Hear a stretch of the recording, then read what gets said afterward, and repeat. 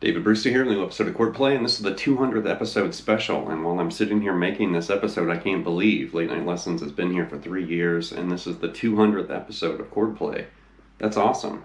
And for a lot of you out there, you may not realize that this channel almost didn't exist. I've mentioned that in other episodes that were kind of anniversary episodes in the past. But it's true. I almost didn't do this because I wasn't sure if I was actually going to get anywhere. But I do want to thank everybody for the continued, you know, likes and views and feedback and requests and the Patreon supporters and just the energy that's floating around this channel. There's a lot of happy people thanking me. It Sounds like you're inspired. I'm hooking you up with some different bands or guitarists or licks or chords or whatever. And that's very infectious because I see your enthusiasm and energy and excitement. And then that inspires me to keep going, you know, and make some new lessons. So this episode's going to definitely celebrate, you know, chord play we're going to revisit and kind of review some things. And I know some people out there don't like reviewing or revisiting, but we're going to try to push forward and make some progress. So there's a reason why I'm putting this together this way. So we are going to hit some things that we've seen in the past, and we're going to push forward, hopefully, you know, breaking into some new things too. So here we go. So I know I mentioned this in another episode. It might have been the 100th episode of Chordplay, but Chordplay is a lesson series that I've had and used with private lesson students since 2004. That's when that originally kind of popped up in my, you know, lesson material. And if you've ever taken private lesson, you know, lessons from me, um, you know, over the last 18 years, we probably worked on this lesson together because I know I've given this to, you know, hundreds of different students, you know, over the last 18 years. But when I put this channel together, chord play was pretty popular with my students, and I thought, you know what, I'm going to turn this into a, a show, you know, and that's basically, you know, what I did. But here's an image showing like the original chord play lesson from 2004. And like I said, if you ever study with me, you know, in private lessons, you're probably going to recognize the sheet.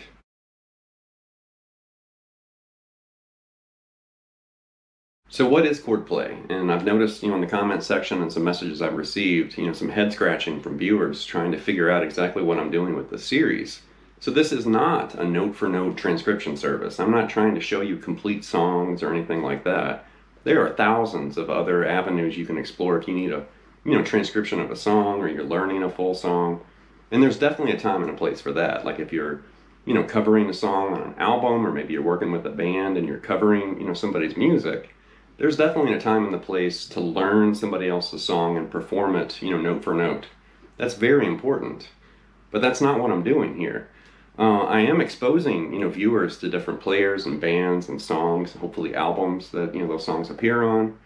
But we're just kind of casually just diving in. Like, think of it like a swimming pool. We're diving into the Led Zeppelin swimming pool or, you know, Radiohead or Van Halen or Pink Floyd or Dream Theater or whoever it is, Buckethead. We're diving into their swimming pool and just kind of checking things out, you know, checking out the water, you know, checking out the chords, things that they like to do, you know, in their music. And then we're pulling those interesting things. So you may have noticed I don't really focus a lot on just straight power chords or simple, you know, major or minor, you know, triads or bar chords and stuff like that. I'm usually focused more on unusual or interesting or just something different, you know, a different, you know, way of putting chords together, a riff, you know, a chord progression, whatever it is. And I'm really just trying to, you know, throw some ideas out there, hopefully sparking some creative, you know, spirit or energy in you. And maybe exposing you to a band or a song you haven't heard before, maybe something you've never learned or played before. And really just kind of, you know, giving you that spark that might lead to either you're going to dive into the whole album, you're going to learn the entire song, or maybe you're just going to kind of pick and choose these little parts and chords and pieces and stuff and put them into your own music.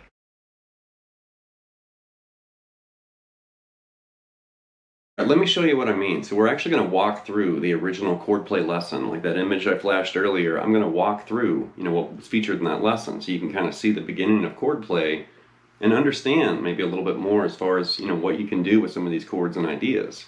So it starts with A sus2, and sus chords are neutral. They're not major, they're not minor. They fall somewhere in between, you know, major and minor. So if we're you know thinking of A sus2, which is right here.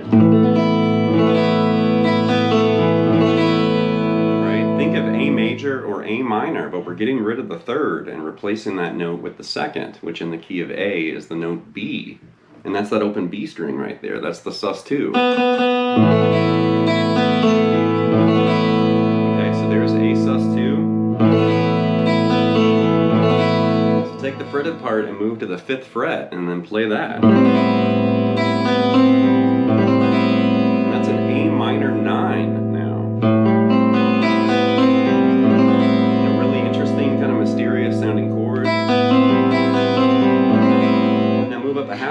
And now you're playing A major 9.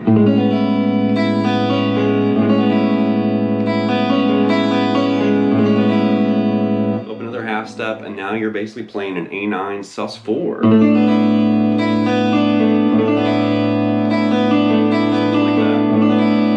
Move to the ninth fret and now you're actually playing A sus 2 again. Basically A, the open B, and that open high E, and you're also fretting B and E. So we're just doubling the two open strings. So that's why it's still A sus 2 right there. Now move up a half step, and this is a very unusual chord. So this is an A minor 9 flat 6. Kind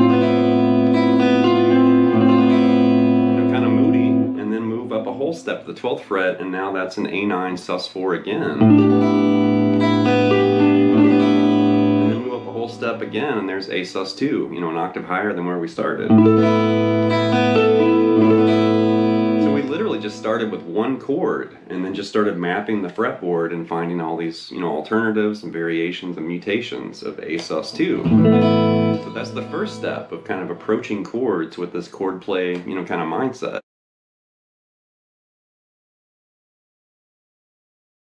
So let's kick this chord play concept up into second gear, and we're going to move, you know, basically from A sus 2. We're to mutate that chord or change it. So I want to change the root A. I'm to keep everything else the same, but I'm going to change the root to F sharp right there. Now the easy way, you could think of that as an A sus 2 over F sharp, but I don't want to think of it that way. Think of it related to that F sharp right there. So that's going to be an F sharp minor 7 add 11. You know, if we're thinking of the root being F sharp. But notice how it changed the sound of that A sus 2 chord. Right?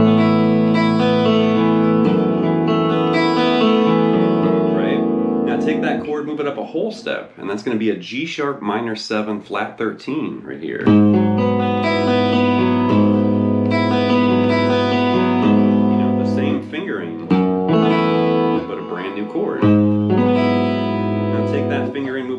Step, and now you're playing an A minor 7 add 9. Now I love those add 9 chords. Okay, now we're going to bypass this middle ground we had earlier with A sus 2 because it doesn't sound good with that B flat or A sharp, you know, root. Let's just go ahead and skip to that B right there, B minor 7 add 11.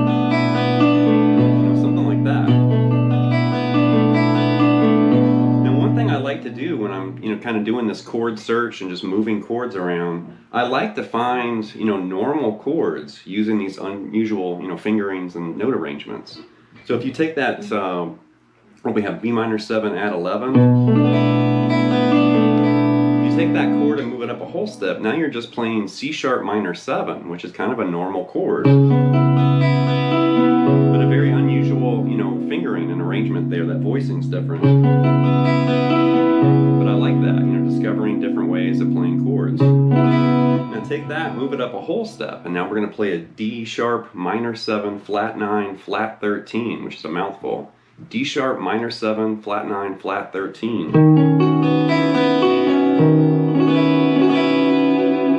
Now move up a half step and now you're just playing E minor 7. So there's another kind of seemingly normal chord.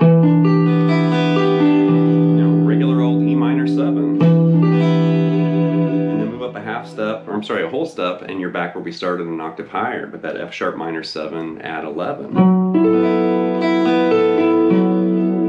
So once again, we took you know the original concept with A sus 2 and changed one note and radically came up with some different you know chord alternatives and mutations from that original starting chord.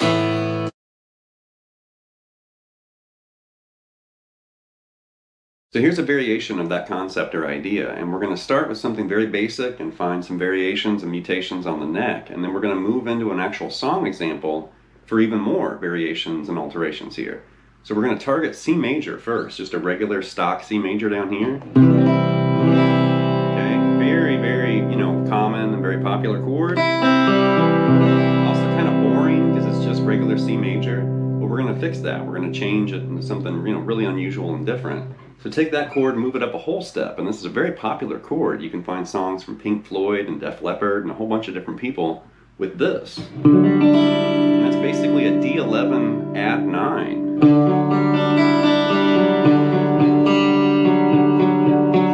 Right. You know, very spacey and dreamy compared to just boring old C major right there.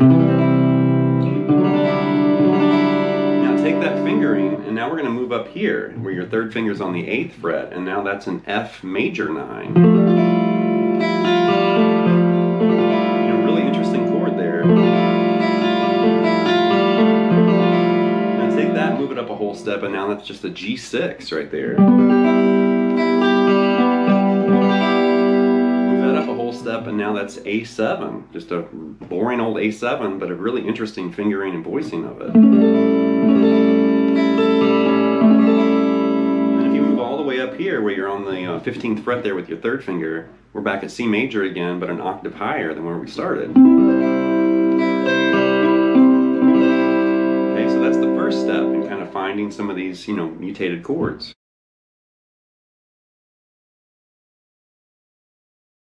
And the song example that's going to borrow the C major, you know, movable chord shape or this chord play movement is uh, the instrumental section "The Wurm" from Yes's uh, Starship Trooper. You know, a classic prog rock, you know, moment. And in that song, you're going to hear this really quiet part like this.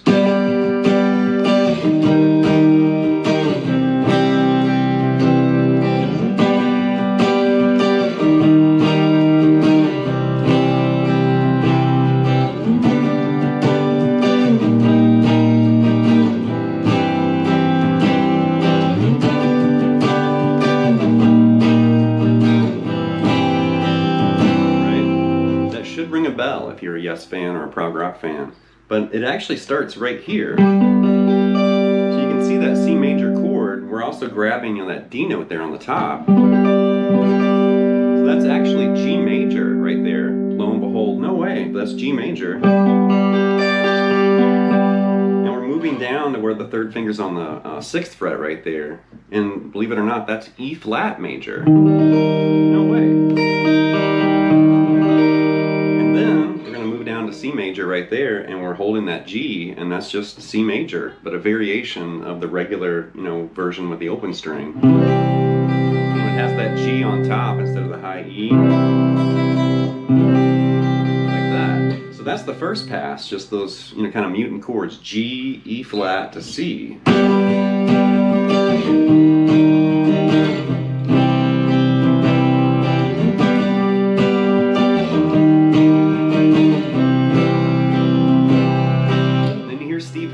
actually do a nice little twist here, another variation or mutation for these chords. So he, instead of grabbing the root there, G, he actually starts moving over to the fifth, right there. So you're switching the root for the fifth, so now that's G over D right there. And then when you move down to that E flat, you're actually playing B flat in the bass right there.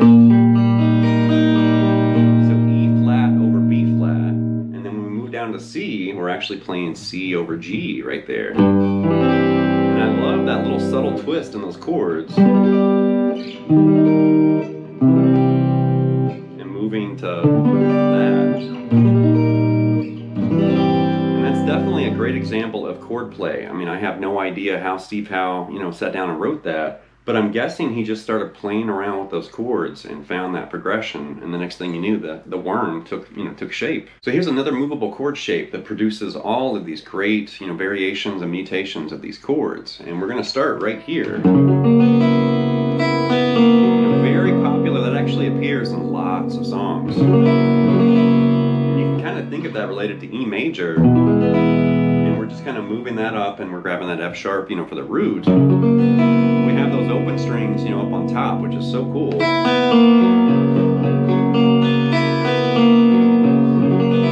that's an F sharp 7 add 11. F sharp 7 add 11.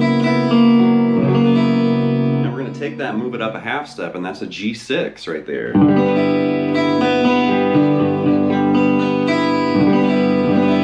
it up a whole step and now you're playing an A add 9. Take that, move it up a whole step, now you're playing a B add 11. Move that up a half step, and that's C major 7 waiting right there. Move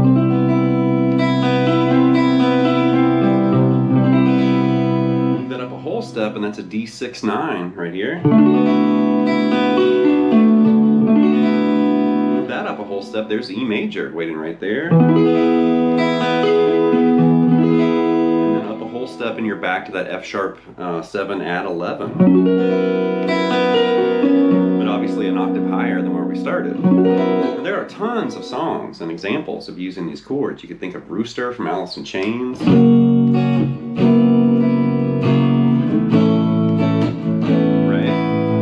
There you can see a couple of those chords. There's F major changing to that F sharp, I'm sorry, F sharp major changing to F sharp 7 add 11. A major changing that A add 9 you know, even little guitars from Van Halen. You can hear Eddie getting in on this, and he's playing with that D6 9, but he's doing it like that, just like a stock, you know, E major. You know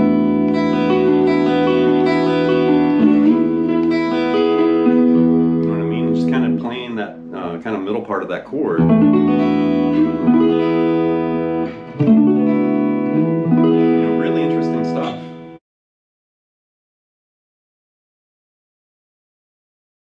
When you hear this chord, you might think of something different than me, but the, the song I just rings in my head. You know, as soon as I start thinking about those chords, I just think of Xanadu by Rush. And of course, I'm a huge Rush fan and a prog rock nerd, so of course my brain and my ear is going to go there when I hear that. But really, if you want to investigate these chords, just sit down and learn, you know, Xanadu. And you can see Alex, you know, Lifeson is playing these kind of chords all over the place. And you'll hear that shift from E major into that uh, F sharp 7, you know, add 11.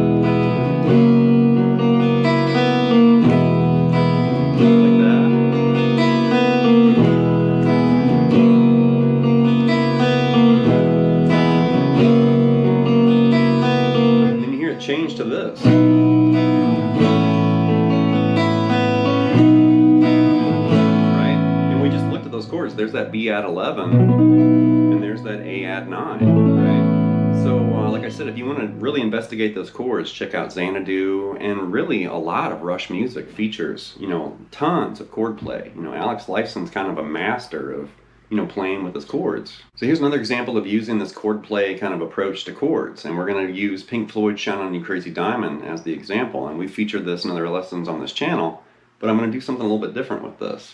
So when you hear that opening, you know, that very dreamy chord? Very, you know, signature sound. I mean, that's totally Shine On You Crazy Diamond. Just hearing that. And that's all you need, and you know what that is, right? But that's a G minor 13 implied. So like the root note's hiding way down here. And that's like some crazy Allan Holdsworth chord now. But that's what that chord is, you know, an implied G minor 13. Actually hear the root note change, you know, from G. Sometimes you hear it as a B flat. Which, ooh, that's beautiful. You know, that's going to be an implied B flat 6, sharp 11. You know, I love chords that sound like that. Change that root note to C, and now that's a C11. Right? And we can keep going. Change the root to D, and that's a D minor 6 9 add 11, which is crazy. Play because I just screwed that up. There we go. And we can keep going. You can find some really interesting chords just by changing the root. And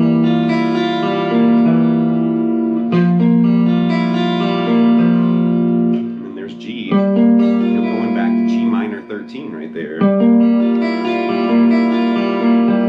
That's a great example of just moving, you know, a root note and really, you know, changing up the sound.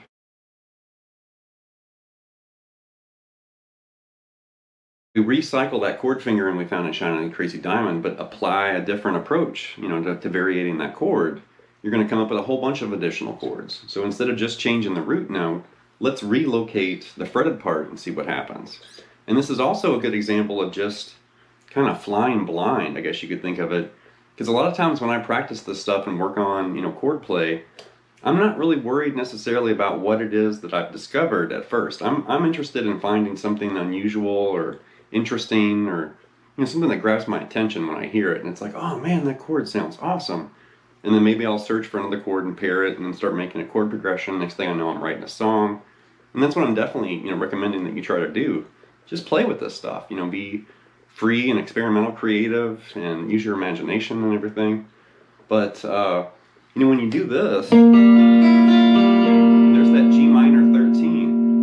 take the fretted part and let's not even worry about what the names of these chords are. Let's just play. Let's just play around like a kid in a sandbox or something. Move down here. And you can think of F as the root right there if you want to. And we're just playing, okay? We're not worried about identifying and grabbing a you know chord, you know, dictionary or whatever We just want to find some chords. Okay, so now take that up and move it up a half step. Like Al Di Meola or something.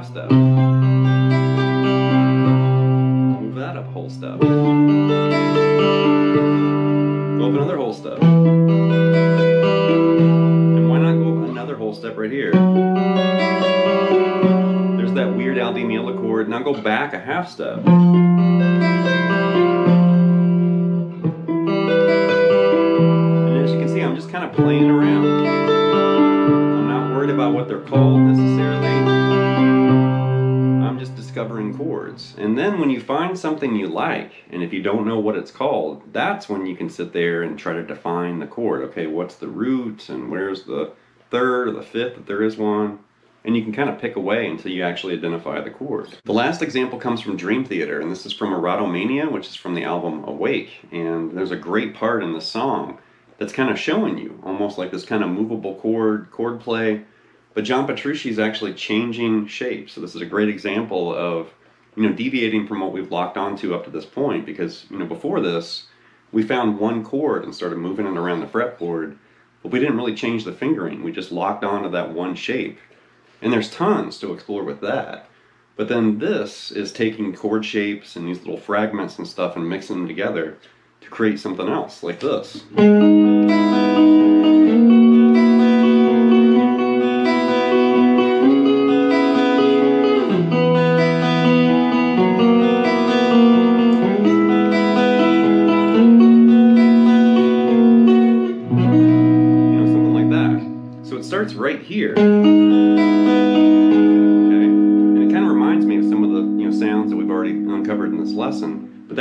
Function as a G sharp minor flat six. Right, and then you're moving to this. So that's an F sharp, F sharp seven add eleven over A sharp. You know, really unusual. Then move this uh, A sharp to B, and that's just a B11 right here. And take that, move that up a whole step, and there's a C, uh, C sharp minor 7. And move all the way down the second fret right there, and that's just E major or E. Or like an E5, I guess. Kind of a drone, like E power chord. And then right there, we actually had part of this chord earlier, but there's F sharp 7 add 11. Then we're going back to this, which that's uh, what E over G sharp. Kind of feels like this, but we didn't play it there earlier. But you know, we we did share that fingering, but now it's somewhere else like that. So once again, that's E over G sharp. And then you're going to basically move this up to where you've got this a um, F sharp, what F sharp seven add eleven over A sharp again.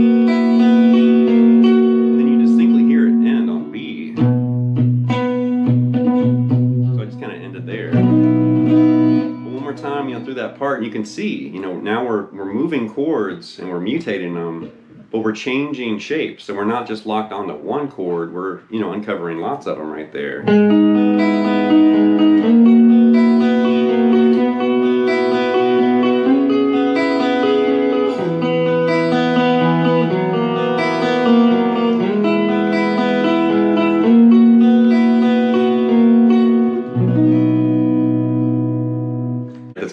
Episode of Chordplay with the 200th uh, episode special, which once again, I can't believe I've already hit 200 episodes here.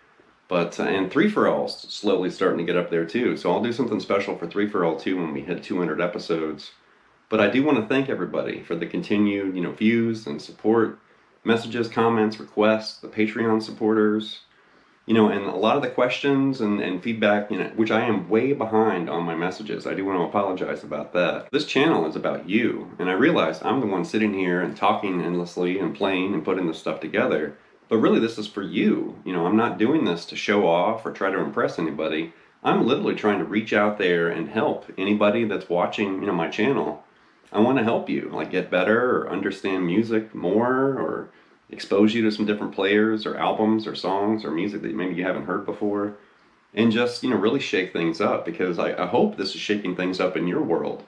Because it's definitely shaking things up in my world. I mean it's changed my entire you know practice routine and everything i was doing before i did this.